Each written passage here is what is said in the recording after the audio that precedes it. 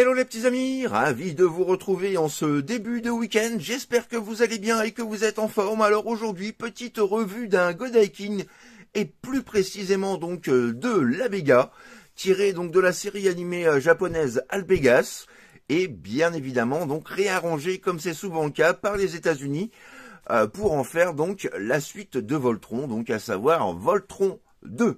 Voilà. Un jouet donc sorti au Japon en 1983 et aux, États-Unis et en Europe, hein, puisque la box, le packaging, donc est euh, purement de type US, donc euh, distribué chez nous euh, un an après, donc en 1984. Voilà, les présentations sont faites. Nous allons pouvoir à présent nous attarder donc sur cette petite team, ma foi plutôt sympa et qui ne manque pas d'originalité. Mais ça, nous allons voir tout de suite après. Alors que dire à part c'est parti, let's go! Ah ouais, cool ça! En plus, je suis sûr que ça va en plaire à certains. Il y en a quelques-uns qui te demandaient cette revue. Ah, bah ça c'est chouette! Aucun rapport avec euh, Lou Albega Euh, comment ça, Lou Albega Ouais, tu sais, le mec qui chantait Mambo Number 5 Je te répondrais bien quelque chose, mais ce serait franchement indécent pour le public qui regarde cette vidéo. Enfin, s'ils sont toujours là. Bon bah, en tout cas, bonne euh, vidéo les mecs, bonne revue pour ceux qui sont toujours là. Et nous, on se donne rendez-vous tout à l'heure. Allez, tchuss Bon bah, bonne verrue alors. Chos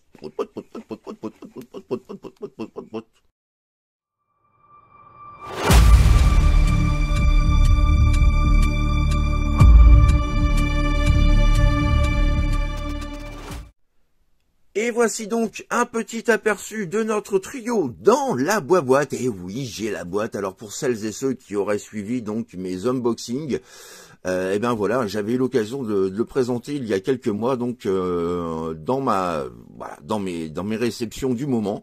Donc voici euh, ce packaging typique des années 80, voilà, des années 80 donc tout en US, hein, puisque ce packaging, comme je vous l'ai dit, a servi euh, avant tout donc pour le marché US et pour une partie donc du marché européen. Nous avons bien donc la licence officielle euh, Bandai. Donc nous avons le nom Abega et non pas Albega, hein, comme c'est le cas donc pour la série euh, japonaise. Voilà, avec nos trois robots, donc le bêta robot, l'alpha robot et le gamma robot. Alors pour anecdote, le nom Abega, c'est tout simple. Il provient donc d'une contraction des trois, des trois noms des personnages. Donc, tout d'abord, Alpha Robot, donc A pour Abega, Beta Robot pour B et Gamma Robot pour Ga. Donc, A, B, Ga. Voilà, vous avez donc... Voilà, ben, vous savez à présent d'où vient ce nom euh, un peu improbable. Euh, et franchement, donc, ils n'ont pas cherché vraiment très très loin pour nous pondre ce petit nom. Sur le dessus de la boîte, donc, nous avons une photo, voilà, de nos trois véhicules. Donc, on y revient, le Alpha Jet, le Beta Jet et le Gamma Jet. Sur la tranche latérale droite, le mode fusion entre les, voilà, entre les trois robots. À savoir également que celui-ci, donc, en termes de concept, se démarque complètement de ce qui pouvait se faire à l'époque, puisqu'à l'époque, donc, nous avons plusieurs véhicules ou robots qui s'assemblaient pour former un robot euh, plus grand, donc un énorme Godai celui-ci donc a bien trois modes robot, mais par contre, euh, en termes de, fusion, lorsqu'il s'assemble, ce n'est pas pour former un robot géant, mais plutôt une sorte de gros vaisseau spatial. Voilà, donc nous avons ici hein, la date, voilà, 1984 Bandai America. Voilà un petit peu pour cette boîte superbe avec à l'intérieur donc notre fameux euh, polystyrène que l'on retrouvait sur des nombreux jouets de l'époque. Alors, on va ouvrir ce petit écran en faisant bien gaffe. Voilà, petite mise au point. Voilà donc la façon dont nos trois personnages étaient présentés. Voilà, dans l'insert en polystyrène. Et puis, voilà, également, et ça c'est cool, voilà, la petite notice. Voilà donc pour la présentation de la boîte. Et petit 360 à présent donc de notre trio, voilà, donc dans des formes mecha vraiment euh, très très basique. On a vraiment ce concept purement années 80. Alors moi personnellement, je les trouve sympas, mais c'est vrai que ce côté un peu kitsch peut surprendre, peut en surprendre plus d'un. ceci dit, donc ça reste cohérent par rapport donc à la série Albegas. Et puis, euh, et puis ma foi, donc voilà, euh, ça change un petit peu. On a vraiment des, des, choses plutôt sympathiques hein, dans lesquelles donc on a du translucide. Les plastiques blancs, comme vous pouvez le constater, voilà, sont parfaitement propres, sont étincelants, immaculés. Euh, ça c'est cool aussi. Hein. J'ai vraiment réussi à le trouver dans un état quasi neuf pour un jouet de 84. Bon voilà, ça quand même, ça vous a de la gueule et c'est très plaisant donc voilà dans une collection. Comme pour mes différentes collections euh, de robots. Et puis donc comme beaucoup de robots de, cette époque-là, nous avons bien évidemment donc des parties chromées, beaucoup de chrome, et aussi et surtout des parties en métal, qui représentent environ donc 25% euh, de chaque figurine, ce qui n'est quand même pas négligeable. Voilà pour ce petit 360. Et commençons donc les présentations par l'Alpha Jet ou le Jet Alpha. Voilà, tout de blanc vêtu. Alors pas de peinture autre que le blanc. Hein. la plupart du voilà, la plupart des, des finitions sont donc voilà conçues via des autocollants. On a quand même un petit peu de peinture juste ici et ici, peinture rouge. Mais sinon on a quelque chose vraiment de très épuré. Euh, J'aime assez, ça pourrait être, malgré ce côté kitsch, ça pourrait être des robots qu'on pourrait trouver aujourd'hui euh, sur Mars ou sur la Lune, admettons. Euh, voilà, la technologie actuelle ne permettant pas d'avoir des robots de type Transformers ou Gundam. Donc ça, sa cohérence, euh, je trouve. Donc avec ce que j'aime beaucoup également, hein, alors je ne sais pas si ça va se voir à la caméra, je vais essayer de faire en sorte que oui. Voilà, vous avez également donc le cockpit en bleu translucide avec tout l'intérieur du cockpit donc représenté, le fauteuil et le tableau de bord, voilà qui est plutôt euh, qui est plutôt sympa. Voilà ce que ça donne donc de face, de profil, de dos, vue de dessus et vue de dessous, donc avec plein de jolis chromes comme je les aime. En termes d'articulation, on a des robots qui, qui sont bien sûr euh, typés années 80, donc assez limités, mais malgré tout un petit peu plus d'articulation que que voilà que la moyenne, avec notamment donc bien entendu une rotation intégrale, voilà, euh, des bras, les avant-bras que vous pouvez donc lever, baisser, les pinces pareilles hein, que vous pouvez donc pivoter à 360, et puis les jambes que vous pouvez voilà lever et baisser. Voilà un petit peu donc pour les principales euh, articulations. Vous pouvez également voilà plier le genou de façon optimum. Bref, ça va, hein, pour l'époque, ça fait son taf. Voilà un petit peu donc pour la présentation du Jet Alpha. Que voici, que voilà. Passons à présent donc au Beta Jet. Voilà. Qui euh, de son côté donc voilà est un robot plutôt un euh, voilà très cubique, euh, un gros pépère avec voilà toute cette partie là juste ici et les roulettes en métal ainsi que le bas des jambes de façon à pouvoir maintenir l'ensemble euh, voilà l'ensemble de cette partie là c'est-à-dire euh, voilà tête cockpit et bras sans que sans que tout se casse la figure. Donc voilà hein, ça permet vraiment un maintien optimum. Là encore donc nous avons je vous montre ça regardez ce cockpit absolument superbe. Donc le coin pilotage juste ici là encore avec le fauteuil et le tableau de bord et puis juste ici, donc, une sorte de petite tourelle à double canon. Voilà, j'aime beaucoup hein, ce, plastique translucide. Donc là, on a affaire plutôt à un gros bourrin, voilà, avec euh, les chenilles sous les pieds. Au niveau des articulations, bah écoutez, on retrouve à peu près celle de son ami, donc le Jet Alpha, à savoir une rotation, voilà, des bras, les pinces que vous pouvez lever et baisser. À noter que les pinces sont également donc en métal. Les jambes, voilà, que vous pouvez avancer, reculer, mais également donc plier. Voilà, donc en termes d'articulation, franchement, on peut pas lui reprocher grand chose. C'est probablement mon préféré des trois. J'aime bien ce côté assez assez baraque. Hein. On voit que c'est un robot plutôt pour le combat rapproché ou pour des, des, des travaux de force assez importantes. Donc voilà, hein. et au niveau du dos, regardez-moi cette magnifique plaque chromée juste ici avec deux petits propulseurs, vraiment absolument superbe. Et en main, je peux, vous assurer que voilà, c'est quand même du costaud. C'est probablement celui qui contient le, le, plus euh, de métal en termes de voilà, en termes de poids, de densité. Et puis voilà, un petit robot vraiment sympa. Là encore, on pourrait avoir quelque chose d'assez cohérent euh, donc euh, de nos jours. Et toujours donc voilà des petits liserés de peinture rouge au niveau des avant-bras. Celui-ci ne possède pas de, stickers, mais voilà là encore on a quelque chose de vraiment épuré avec ce blanc vraiment euh, immaculé. J'adore. Voilà, je suis vraiment content de le posséder dans un état aussi euh, irréprochable.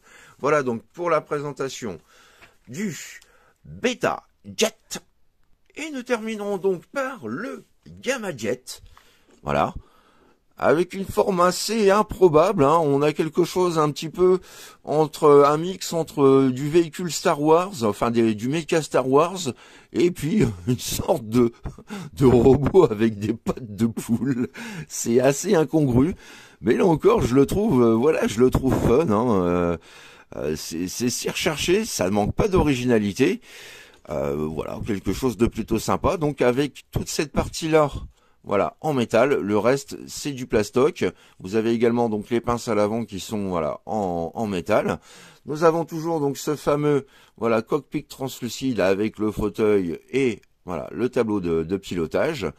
Euh, en termes d'articulation, eh bien écoutez, nous avons là encore voilà les bras que nous pouvons lever, baisser, les avant-bras voilà avec une rotation plutôt, pas mal du tout.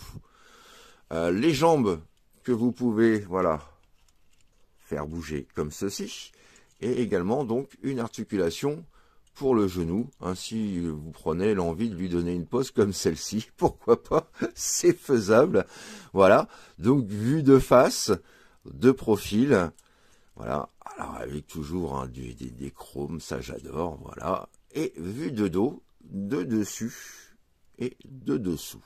Voilà un petit peu donc pour la présentation de notre Gamma Jet avec voilà toujours de la peinture rouge et cette fois-ci un petit peu de, peinture verte.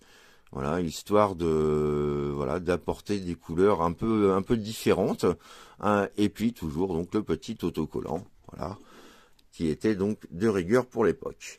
Voilà donc nos trois personnages dans leur mode mecha et nous allons pouvoir passer à présent donc à l'étape de transformation en mode jet. Alors pour la transformation, vous allez voir, hein, c'est vraiment tout simple.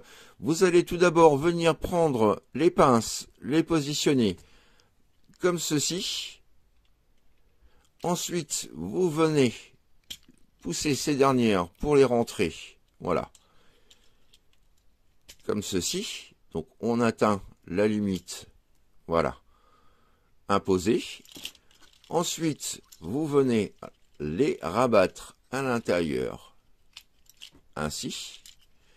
Vous venez d'éclipser le nez et le mettre en place comme ceci. Ensuite, vous venez rabattre le tout. Ainsi, vous loquez bien l'ensemble. Et ensuite, donc, on termine par les jambes. Alors vous avez un système hein, qui est sur ressort, vous voyez, sur ressort de rappel, donc vous tirez cette partie-là comme ceci, et vous effectuez ce mouvement, comme ça, idem ici,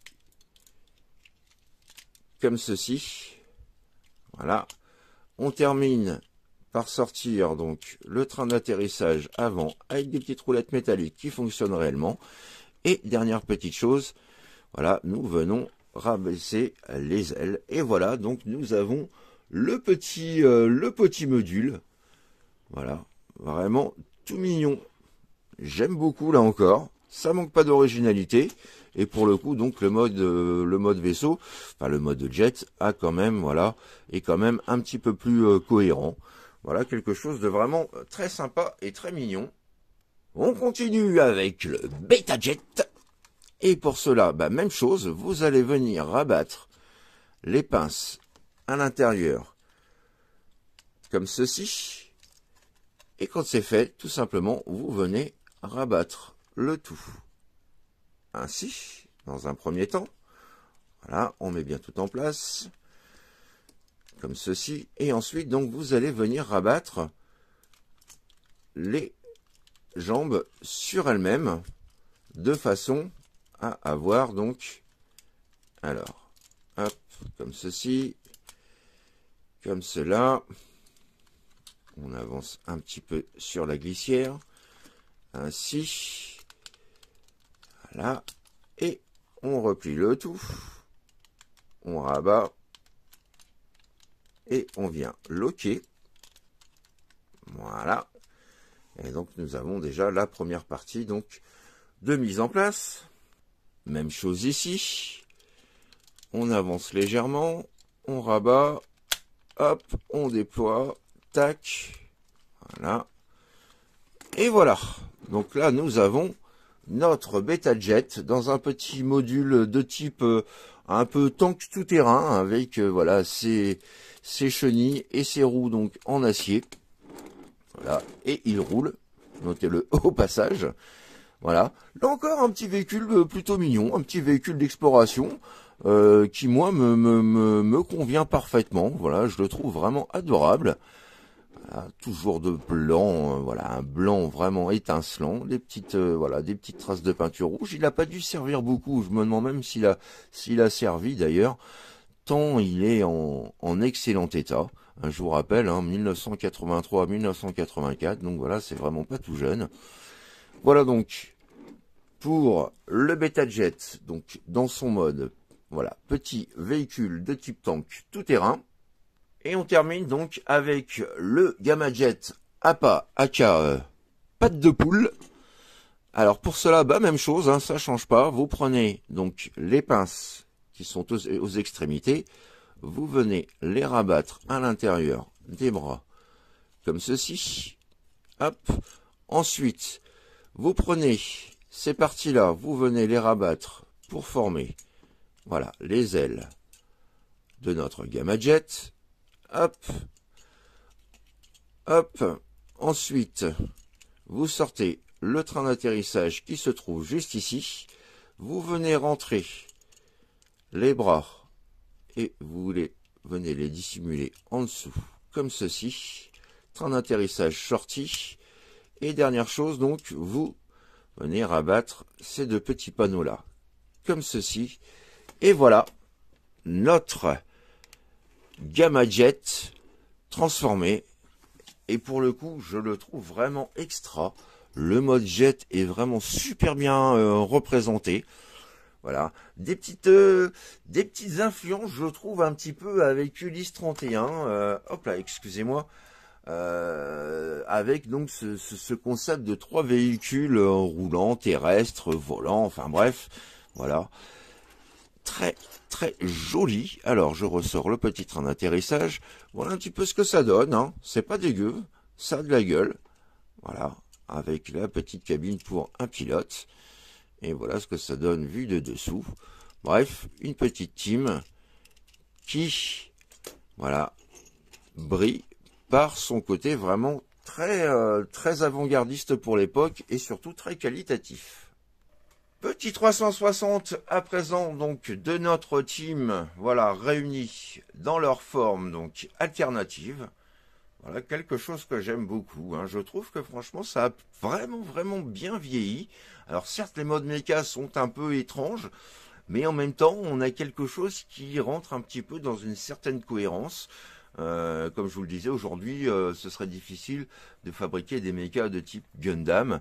Hein. on se doute que par les technologies, on a beau être en 2022, on n'a toujours pas atteint euh, voilà ce level ce level qu'on espérait peut-être avoir dans les années 70-80.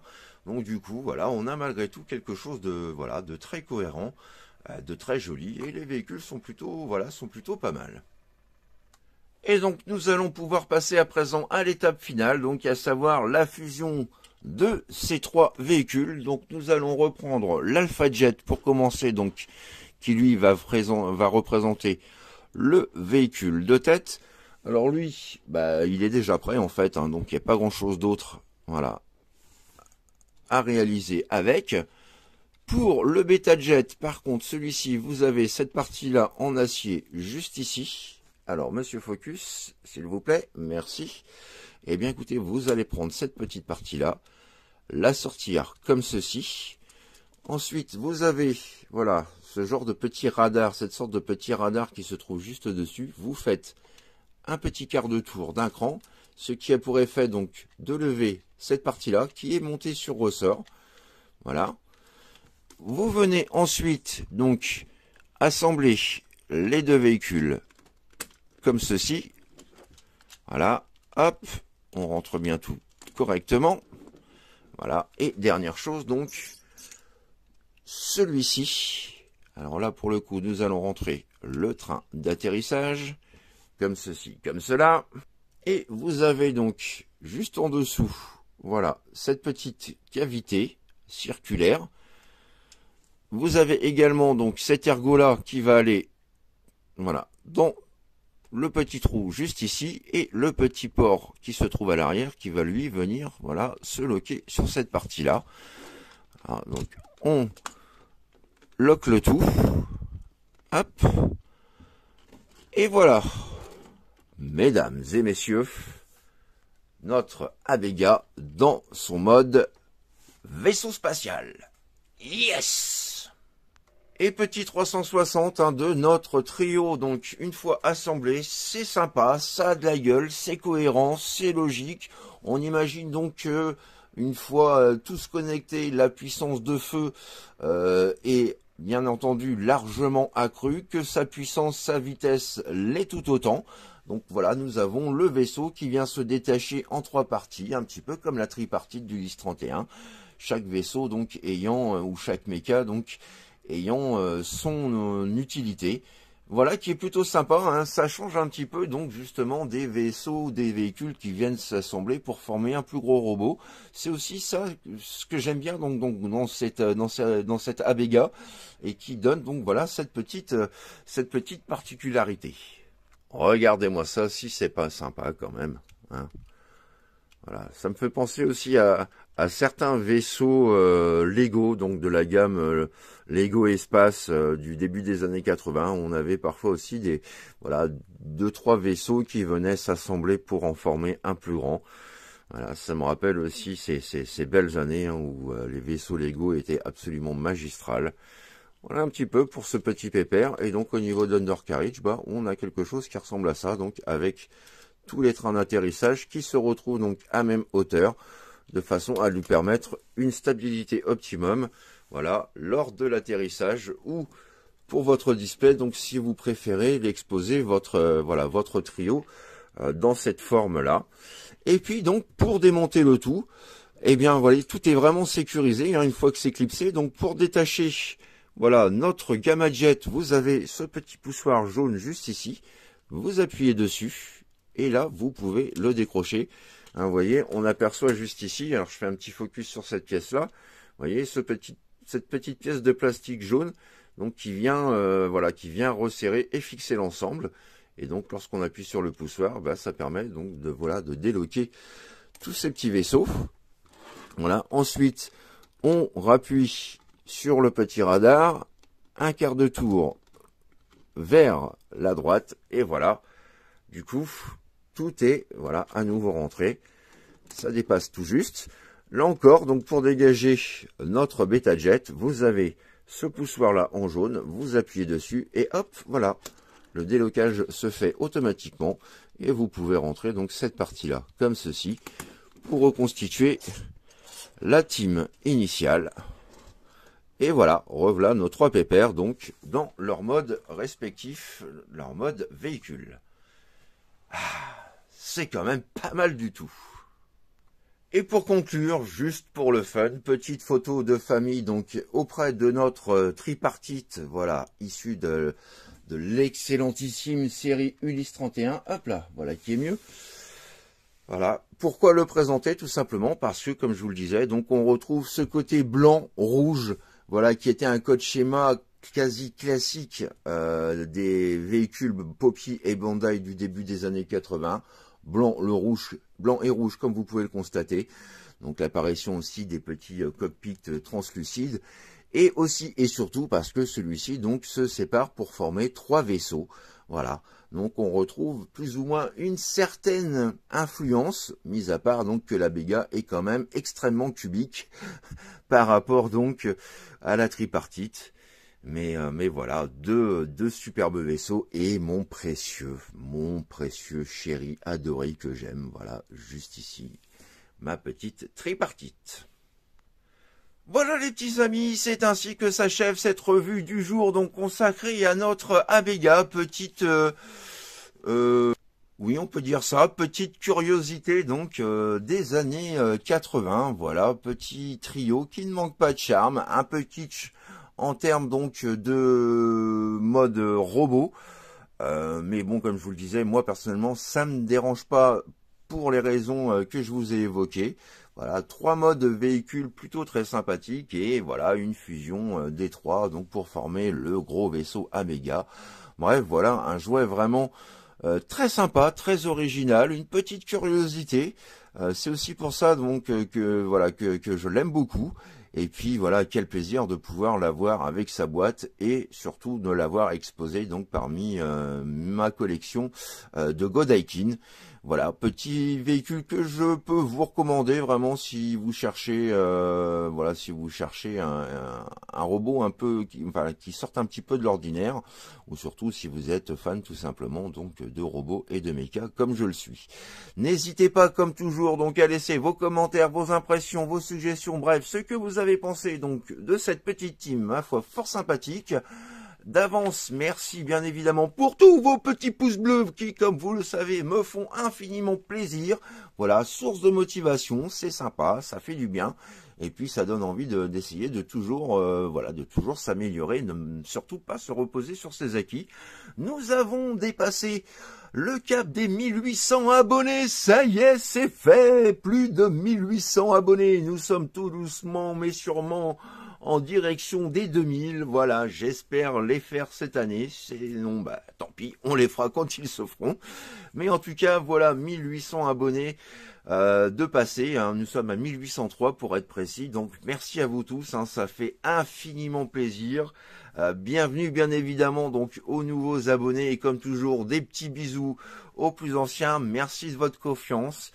Euh, merci de tous ces chouettes moments que vous me faites passer en aparté, c'est-à-dire dans la rubrique commentaires ou bien entendu sur Messenger, au téléphone, sur Facebook. Bref, voilà, hein, on a l'occasion pour la plus, pour certains donc de, de, voilà de d'être en contact.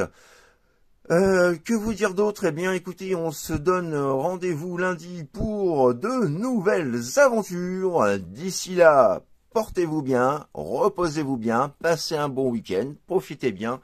Et surtout, n'oubliez pas, faites ce que vous avez à faire dans l'amour, dans la joie et dans la bonne humeur. Allez, plein de bisous les petits amis. Bye bye, tchuss. Ah ouais, tchuss ce petit méca. C'est vrai que, en mode robot, c'est un peu kitsch. Comme mon robot, comme mon méca. Et le mode véhicule, bah, ouais. Alors là, par contre, je suis un petit peu en dessous du cran, hein. Mais c'est vrai que ça me fait penser un peu à mon petit bijou, mon petit joujou méca. Ouais, c'est vrai, c'est sympa. Eh, tu crois qu'ils écoutent Mambo Number 5 quand ils sont dans l'espace? Ah, ça, j'en sais rien. Mais on devrait essayer, nous aussi, de se trouver un nom. Tu sais, un peu comme dans la contraction Abega, Alpha, Beta, Gamma. Ouais, sauf que Mimi, euh, ça fait pas très viril tout ça. Ah ouais, en effet, Mimi. C'est la loose. I would have waited an eternity for this. It's over, Pride.